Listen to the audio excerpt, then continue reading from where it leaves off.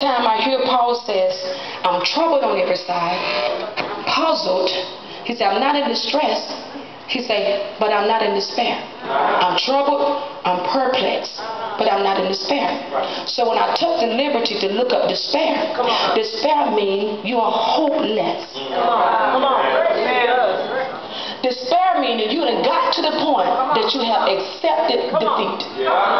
Despair is when you done throw it in the towel and say, what's the use? Right. Despair is when I say, you know what, just forget it all. Yeah. But see, when I went, I had to go all the way to college to find what but me.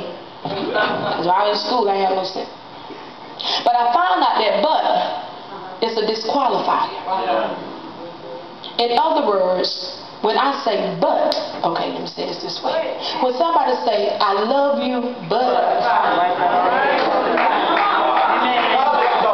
when somebody say, you know, you good, but but is forget about the statement just been said and focus on what's been said after but. Y'all are gonna talk to me. So so Paul says, I am troubled and I am perplexed, but y'all are gonna talk to me. See, God, I'm going through some circumstances, but I, I don't have the money that I need right now, but I'm going through in my marriage, but I got some situations on the job, but I got a bad doctor report, but come on, I got some situations, but God. Y'all ain't gonna talk to me. Come on, so Paul said, I'm not in despair. So in other words, Paul said, I still have hope. I still have hope. That's why he says, living by faith is beginning of these of these verses. I still have hope. Hope is when I have expectation. Uh, hope is when I have not gave up. Hope is that I'm still looking for it to happen at any time. Why do you think Jesus did not tell us when he's coming back? Coming back, but he didn't tell us when. Now, you know if Jesus would have told you that I'm coming back on December 26, 2009 at 5 o'clock.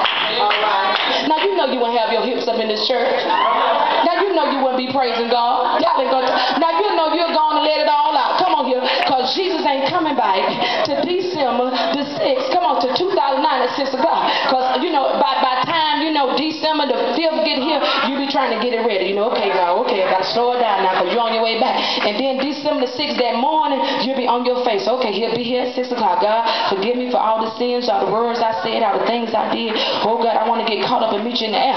So it's just like this here. I didn't tell you when, but I told you what. And it's just like this here. I give you the promise. I tell you what I'm going to do, but I don't tell you when. So in between times, y'all write the vision, make it plain. And at the appointed time, the set, the set time. See, God said, I already gave you the promise. I already told you you got the victory. I already told you you coming out, but I didn't tell you when. So since you don't know the time, you got to hold on. Y'all ain't gonna help me up in here. Do I still have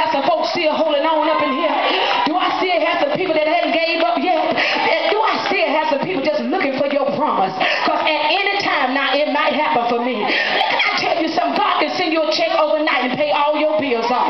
Come on, God can send somebody up in your life and you can sign a contract. Y'all ain't gonna have your name will be named all over the world. Come on here. God can do something for you in an instant. He said, I'm coming back at the twinkling of an